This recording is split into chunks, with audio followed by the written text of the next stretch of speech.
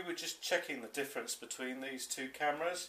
Um, we've got the, they're both Panasonic Lumix. Um, one is the FZ38 and if I remember rightly is the good old LZ20.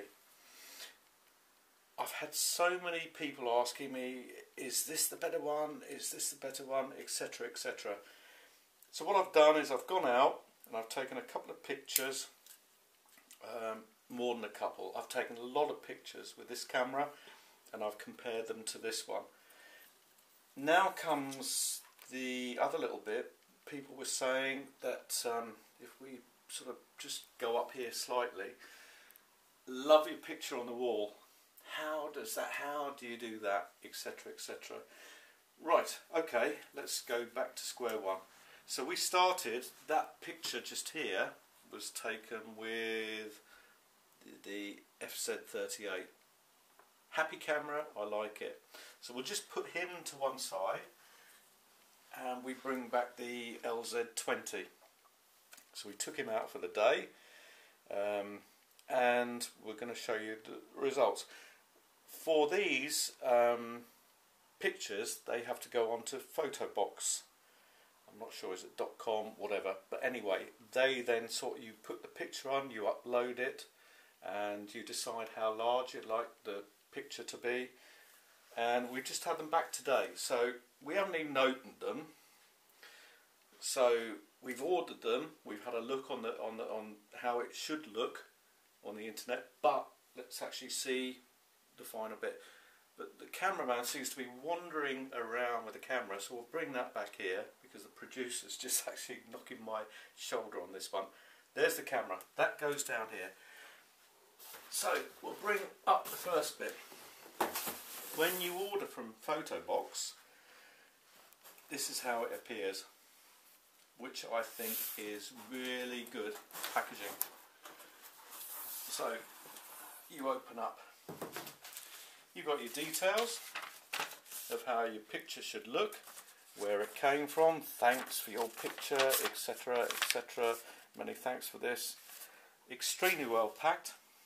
We've got a little bit of bubble wrap, but inside, and this is the picture out the camera that I've just shown you, the LZ20. And there's a little bit of flapping about we can pull the picture out. Excuse me for a minute. Oh, before I finish, each and every time they turn up, you get a little bag full of these little things. They're screws, they're, they're attachments, plus also they give you the instructions of how to, depending on where you want to put it, how you want to put it, how you want to hang it, etc. Yeah, so they're all there. There's your finished picture. However, that's got a glaze on it because with the packaging the photo box do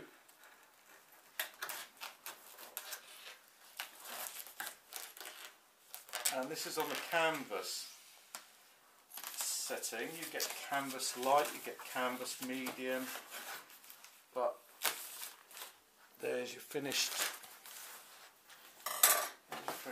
product there. Which I think that's quite good. And that's taken with the camera we have just shown you.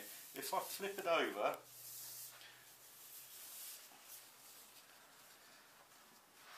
and we'll just focus in on here, that sort of finish that you've got here, you've got the, the, the way the fold around fold around there and on the corners everything's stapled into place. Everything's I don't know what the join is with the woodwork but it's a wooden frame. I would say basically that would last you years and years. So I'm going to flick it back round again and that's what's going to go on our wall. That is a reasonable picture I would say. We've got another picture as well. Do you want to see that one? So we'll do that one quickly. We'll put this one away because it's going to go off on our wall in a minute. Uh, and here's the second one. Same packaging, same thing. Cost of postage for these two, believe it or not, was £10. £10. Secure postage and packing, which is extremely hard to, because I haven't got my scissors on me. Yes, I have.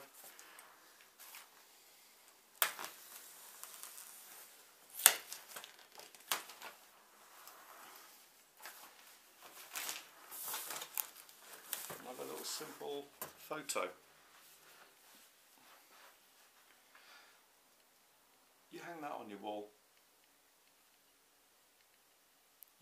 That looks quite good, I think. Cameraman, what do you think?